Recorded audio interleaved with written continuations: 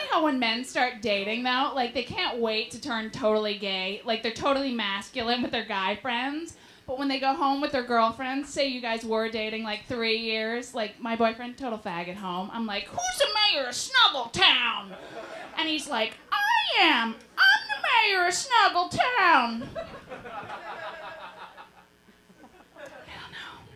He does do that though. I just went to my. I, I'm getting old. I just went to my 10 year high school reunion.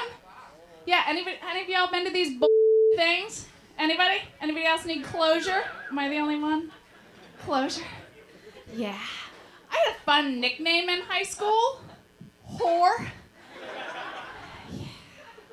And can I tell you something? I totally was. I totally was, right? But I went back to see these bitches that tortured me. One in particular, Jenny Dowling. She was the reason I ate tater tots by myself in the bathroom at lunch. Like, sure do wish I had friends.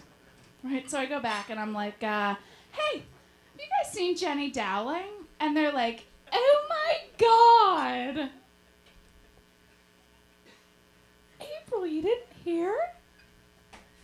Jenny died. no, but I wasn't laughing. I was like, oh my God. That's terrible.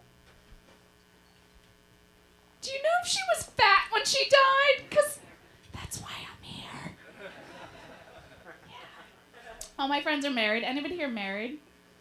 Nobody in LA is married. Too many options. Anybody married? Yeah, all men in LA are ridiculously afraid of commitment. Like even the ugly ones, even the ugly ones are afraid.